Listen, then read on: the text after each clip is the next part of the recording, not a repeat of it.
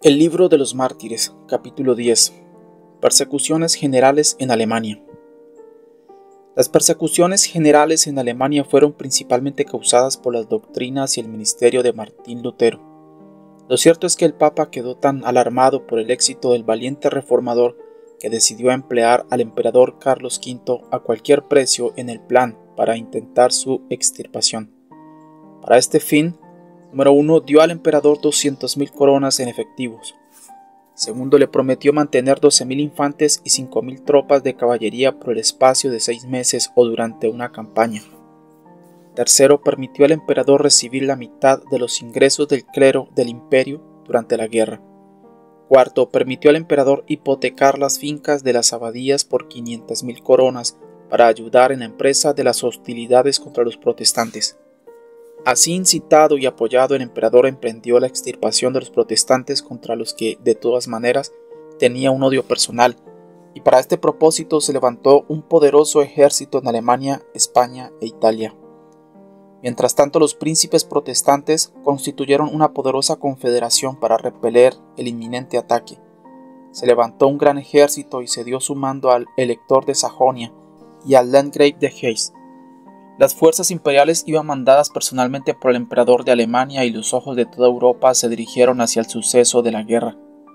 Al final los ejércitos chocaron y se libró una furiosa batalla, en la que los protestantes fueron derrotados y el elector de Sajonia y el Landgrave de Hesse hechos prisioneros. Este golpe fatal fue sucedido por una horrorosa persecución, cuya dureza fue tal que el exilio podía considerarse como una suerte suave y la ocultaron en un tenebroso bosque como una felicidad. En tales tiempos una cueva es un palacio, una roca un lecho de plumas, y las raíces manjares. Los que fueron atrapados sufrieron las más crueles torturas que podían inventar las imaginaciones infernales, y por su constancia dieron prueba de que un verdadero cristiano puede vencer todas las dificultades, y a pesar de todos los peligros ganar la corona del martirio. Enrique Boes y Juan Esch prendidos como protestantes, fueron llevados al interrogatorio. Boes, respondiendo por sí mismo y por el otro, dio las siguientes respuestas a algunas que les hizo el sacerdote, que los examinó por orden de la magistratura. Sacerdote, ¿no erais vosotros dos hace algunos años frailes agustinos? Boes, sí. Sacerdote, ¿cómo es que habéis abandonado el seno de la iglesia de Roma? Boes, por sus abominaciones. Sacerdote, ¿En qué creéis? Boes, en el Antiguo y Nuevo Testamento. Sacerdote, ¿no creéis en los escritos de los padres y en los decretos de los concilios? Boes, sí. Si concuerdan con la escritura. Sacerdote, ¿no os sedujo Martín Lutero? Boes, nos ha seducido de la misma manera en que Cristo sedujo a los apóstoles, esto es, nos hizo consciente de la fragilidad de nuestros cuerpos y del valor de nuestras almas. Este interrogatorio fue suficiente. Ambos fueron condenados a las llamas y poco después padecieron con aquella varonil fortaleza que corresponde a los cristianos cuando reciben la corona del martirio. Enrique Suppen, un predicador elocuente y piadoso, fue sacado de su cama en medio de la noche y obligado a caminar descalzo un largo trecho, de modo que los pies le quedaron terriblemente cortados. Pidió un caballo, pero los que le llevaban dijeron con escarnio un caballo para un hereje. No, no, los herejes pueden ir descalzos. Cuando llegó al lugar de su destino fue condenado a morir quemado, pero durante la ejecución se cometieron muchas indignidades contra él, porque los que estaban junto a él no contentos con lo que sufrían las llamas, le cortaron y sajaron de la manera más terrible. Muchos fueron asesinados en Heil, Middelburg. Fue tomado el asalto y todos los protestantes fueron pasados a cuchillo y muchos fueron quemados en Viena.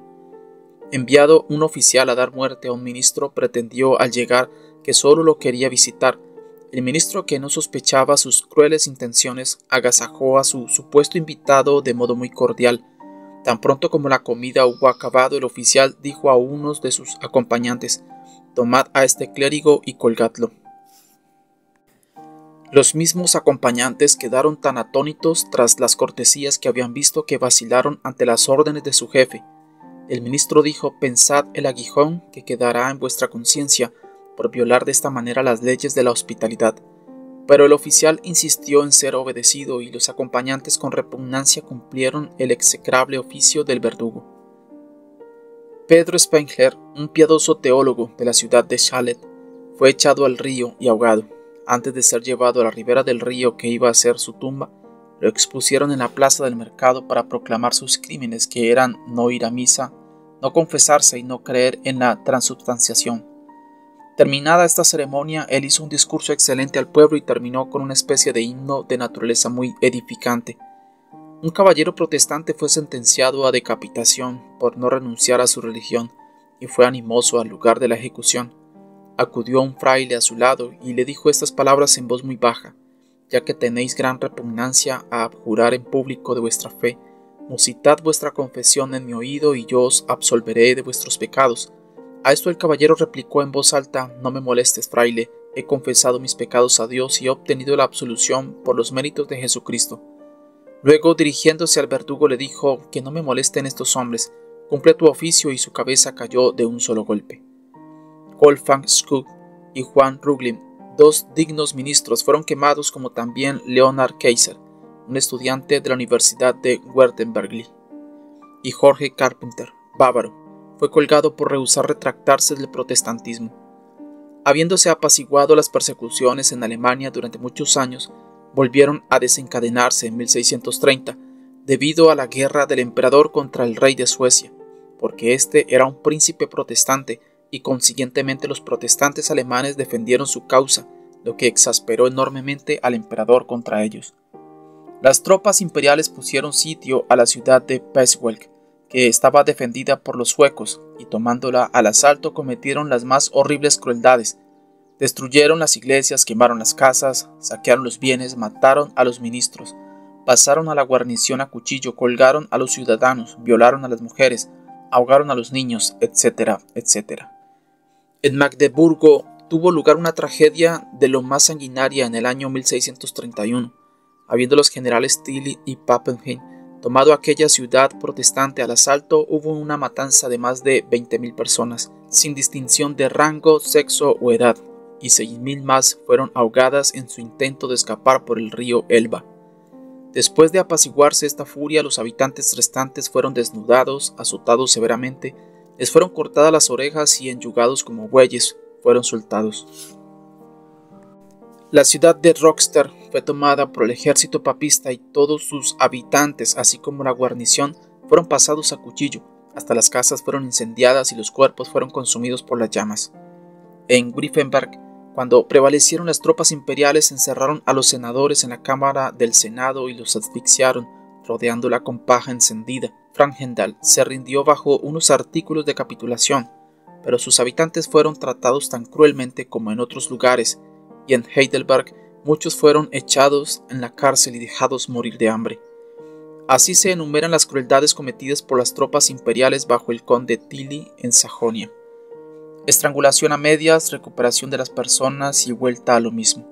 Aplicación de afiladas ruedas sobre los dedos de las manos y de los pies. Aprisionamiento de los pulgares en tomillos de banco. El forzamiento de las cosas más inmundas garganta abajo, por las cuales muchos quedaron ahogados. El prensamiento con sogas alrededor de la cabeza de tal manera que la sangre brotaba de los ojos, de la nariz, de los oídos y de la boca, cerillas ardiendo en los dedos de las manos y de los pies, en los brazos y piernas y hasta en la lengua, poner pólvora en la boca y prenderla, con lo que la cabeza volaba en pedazos, atar bolsas de pólvora por todo el cuerpo, con lo que la persona era destrozada por la explosión, tirar en vaivén de sogas que atravesaban las carnes, incisiones en la piel con instrumentos cortantes, inserción de alambres a través de la nariz, de los oídos, labios, etc. Colgar a los protestantes por las piernas con sus cabezas sobre un fuego, por lo que quedaban secados por el fuego. Colgarlos de un brazo hasta que quedaba dislocado. Colgar de garfios a través de las costillas, obligar a beber hasta que la persona reventaba. Coser a muchos en hornos ardientes. Fijación de pesos en los pies, subiendo a muchos juntos con una polea la horca, asfixia, asamiento, apuñalamiento, freimiento, el potro, la violación, el destripamiento, el quebrantamiento de los huesos, el despellejamiento, el descuartizamiento entre caballos indómitos, ahogamiento, estrangulación, cocción, crucifixión, empaderamiento, envenenamiento, cortamiento de lenguas, narices, oídos, etc. Acerramiento de los miembros, troceamiento a hachazos y arrastre por los pies por las calles. Estas enormes crueldades serán un baldón perpetuo sobre la memoria del conde Tilly, que no solo cometió sino que mandó a las tropas que las pusieran en práctica. Allí donde llegaba seguían las más horrendas barbaridades y crueles depredaciones. El hambre y el fuego señalaban sus avances, porque destruía todos los alimentos que no podía llevarse consigo y quemaba todas las ciudades antes de dejarlas, de modo que el resultado pleno de sus conquistas eran el asesinato, la pobreza y la desolación.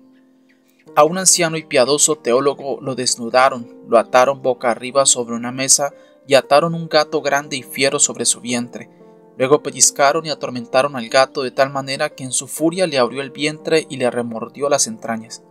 Otro ministro y su familia fueron apresados por estos monstruos inhumanos, violaron a su mujer e hija delante de él, enclavaron a su hijo recién nacido en la punta de una lanza, y luego rodeándole de todos sus libros, les prendieron fuego y fue consumido en medio de las llamas. En Hesse Castle algunas de las tropas entraron en un hospital donde había principalmente mujeres locas y desnudando a aquellas pobres desgraciadas las hicieron correr por la calle a modo de diversión, dando luego muerte a todas. En Pomerania algunas de las tropas imperiales que entraron en una ciudad pequeña tomaron a todas las mujeres jóvenes y a todas las muchachas de más de 10 años y poniendo a sus padres en un círculo les mandaron cantar salmos mientras violaban a sus niñas, diciéndoles que si no lo hacían las despedazarían después, Luego tomaron a todas las mujeres casadas que tenían niños pequeños y les amenazaron que si no consentían a gratificar sus deseos, quemarían a sus niños delante de ellas en un gran fuego que habían encendido para ello. Una banda de soldados del conde Tilly se encontraron con un grupo de mercaderes en Basilea que volvían del gran mercado de Estrasburgo e intentaron rodearlos. Sin embargo, todos escaparon menos diez, dejando sus bienes tras ellos. Los días que fueron tomados rogaron mucho por sus vidas, pero los soldados los asesinaron diciendo, habéis de morir porque sois herejes y no tenéis dinero. Los mismos soldados encontraron a dos condesas que, junto con algunas jóvenes damas, las hijas de unas de ellas, estaban dando un paseo en un landau. Los soldados les perdonaron la vida, pero las trataron con la mayor indecencia y dejándolas totalmente desnudas mandaron al cochero que prosiguiera. Por la mediación de Gran Bretaña se restauró finalmente la paz en Alemania y los protestantes quedaron sin ser molestados durante varios años hasta que se dieron nuevas perturbaciones en el Palatinado que tuvieron estas causas. La gran iglesia del Espíritu Santo en Heidelberg había sido compartida durante muchos años por los protestantes y católicos romanos de esta manera. Los protestantes celebraban el servicio divino en la nave o cuerpo de la iglesia, los católicos romanos celebraban misa en el coro, aunque esta había sido la costumbre desde tiempos inmemoriales, el elector del Palatinado finalmente decidió no permitirlo más, declarando que como Heidelberg era su capital y la Iglesia del Espíritu Santo la catedral de su capital, el servicio divino debía ser llevado a cabo solo según los ritos de la Iglesia de la que él era miembro. Entonces, prohibió a los protestantes entrar en la Iglesia y dio a los papistas su entera posesión. El pueblo agraviado apeló a los poderes protestantes para que se les hiciera justicia, lo que exasperó de tal modo al elector que suprimió el catecismo de Heidelberg. Sin embargo, los poderes protestantes acordaron unánimes a exigir satisfacciones por cuanto el elector, con su conducta, había quebrantado un artículo del Tratado de Westfalia. También las cortes de Gran Bretaña, Prusia, Holanda, etc., enviaron embajadores al elector para exponerle la injusticia de su proceder y para amenazarle que, a no ser que cambiara su conducta para con los protestantes del Palatinado, ellos tratarían también a sus súbditos católicos romanos con la mayor severidad. Tuvieron lugar muchas y violentas disputas entre los poderes protestantes y los del elector, y éstas se vieron muy incrementadas por el siguiente incidente. Estando el carruaje de un ministro holandés delante de la puerta del embajador residente enviado por el príncipe de Hesse, una compañía apareció llevando la hostia a casa de un enfermo. El cochero no le prestó la menor atención, lo que observaron los acompañantes de la hostia y lo hicieron bajar de su asiento, obligándole a poner la rodilla en el suelo. Esta violencia contra la persona de un criado de un ministro público fue mal vista por todos los representantes protestantes, y para agudizar aún más las diferencias, los protestantes presentaron a los representantes tres artículos de queja. Primero, que se ordenaban ejecuciones militares contra todos los zapateros protestantes que rehusaban contribuir a las misas de San Crispín. Segundo, que a los protestantes se les prohibía trabajar en días santos de los papistas, incluso en la época de la cosecha, bajo penas muy severas, lo que ocasionaba graves inconvenientes y causaba graves prejuicios a las actividades públicas. Tercero, que varios ministros protestantes habían sido desposeídos de sus iglesias bajo la pretensión de haber sido fundadas y edificadas originalmente por católicos romanos. Finalmente los representantes protestantes se pusieron tan apremiantes como para insinuarle al elector que la fuerza de las armas le iba a obligar a hacer la justicia que había negado a su embajada. Esta amenaza lo volvió a la razón porque bien conocía la imposibilidad de llevar a cabo una guerra contra los poderosos estados que le amenazaban. Por ello accedió a que la nave de la Iglesia del Espíritu Santo le fuera devuelta a los protestantes, restauró el catecismo de Heidelberg, volvió a dar a los ministros protestantes la posesión de las iglesias de las que habían sido desposeídos, permitió a los protestantes trabajar en días santos de los papistas y ordenó que nadie fuera molestado por no arrodillarse cuando pasara la hostia por su lado. Estas cosas las hizo por temor, pero para mostrar su resentimiento contra sus súbditos protestantes en otras circunstancias en las que los poderes protestantes no tenían derecho a interferir, abandonó totalmente a Heidelberg, traspasando todas las cortes de justicia a Mannheim, que estaba totalmente habitada por católicos romanos. Asimismo edificó allí un nuevo palacio, haciendo de él su lugar de residencia, y siendo seguido por los católicos de Heidelberg, Mannheim se convirtió en un lugar floreciente. Mientras tanto, los protestantes de Heidelberg quedaron sumidos en la pobreza, y muchos quedaron tan angustiados que abandonaron su país nativo, buscando asilo en estados protestantes. Un gran número de estos fueron a Inglaterra, en tiempos de la reina Ana, donde fueron cordialmente recibidos y hallaron la más humanitaria ayuda, tanto de donaciones públicas como privadas. En 1732, más de 30.000 protestantes fueron echados del arzobispado de Salzburgo, en violación del Tratado de Westfalia. Salieron en lo más crudo del invierno con apenas las ropas suficientes para cubrirles y sin provisiones, sin permiso para llevarse nada consigo. Al no ser acogida la causa de esta pobre gente por aquellos estados que hubieran podido obtener reparación, emigraron a varios países protestantes y se asentaron en lugares donde pudieran gozar del libre ejercicio de su religión, sin daño a sus conciencias y viviendo libres de las redes de la superstición papal y de las cadenas de la tiranía papal.